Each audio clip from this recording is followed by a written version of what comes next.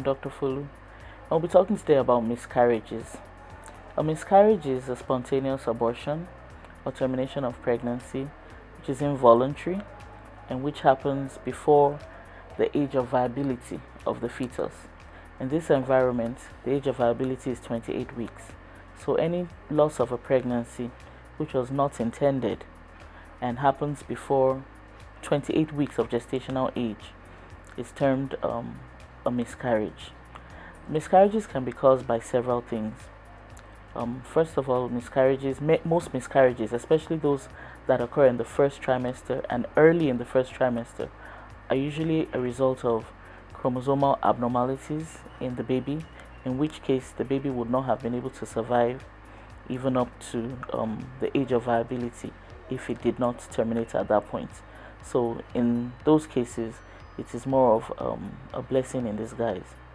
Now, other things that can cause miscarriages are things that are outside of the baby, that are extrinsic to the baby, and these include structural abnormalities in the uterus, um, which do not allow implantation to occur properly or do not allow growth of the fetus to the age of viability.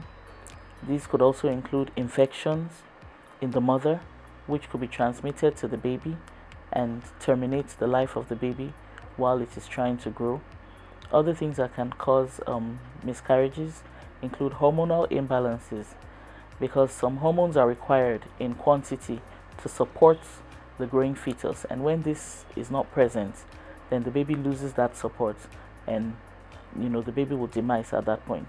So it is important to note that hormonal um, factors can also be responsible for miscarriages. Miscarriages could also be a result of trauma, and this is to the mother. If the mother undergoes um, trauma, especially to the abdomen, or a particularly stressful, either physically or emotionally stressful um, occurrence, this could also result, you know, in a miscarriage. Miscarriages could also be a result of medications which the mother takes, which are damaging to the baby and this could result in a miscarriage. Having discussed causes or risk factors of miscarriages, it's important also to discuss um, prevention. So, what are things that we can do to prevent miscarriages or to reduce our risk for having miscarriages? And these border mainly on maternal health. First of all, um, the mother must be in good health must be of ideal weight. Underweight mothers predispose or increase risk are at increased risk of miscarriages, and the same goes for the other extreme, where obese mothers are at increased risk of having miscarriages. Um, the mother's health is also a function of her social habits. So, mothers who take alcohol and smoke cigarettes um, should consider cutting those out prior to conception, and these will make the body to be more receptive um, to the growing baby and also able to support you know the baby's growth um, fully.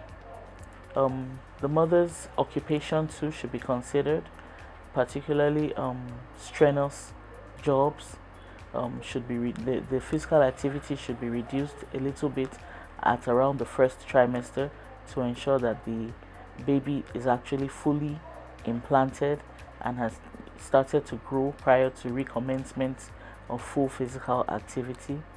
Mothers who are exposed to radiation um, as a result of occupational um, exposure, this should also be looked into.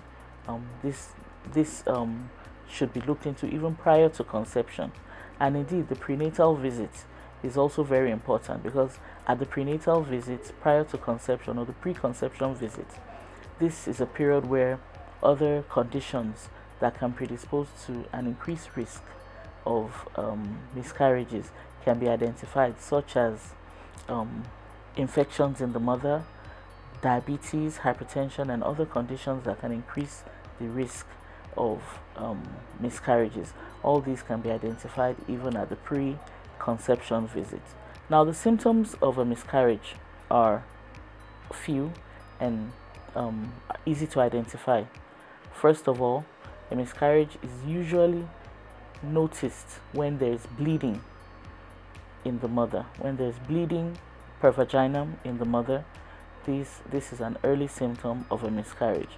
There could also be some low abdominal pain or low back pain, heralding uh, the termination of that pregnancy. This is also possible. Then there could be, especially in cases where the baby is a little bit um, advanced in gestational age, there could be identification that the baby has the, the, the uterus has stopped growing. So this could be another sign that a miscarriage has occurred. And of course, if the miscarriage, the miscarriage is as a result of an infection in the mother, there could be symptoms of that condition, such as malaria in the mother with headaches, fever, body pains, a urinary tract infection in the mother, which could also be um, identified by difficulty or painful urination, also a fever or frequent urination. Then there could also be um, vaginal infections, which could um, cause um, a miscarriage, and this could be um, identified by presence of copious new um, vaginal discharge, you know, in the mother. So once a miscarriage is suspected, as a matter of urgency, the, the mother has to present at her healthcare provider for proper assessment.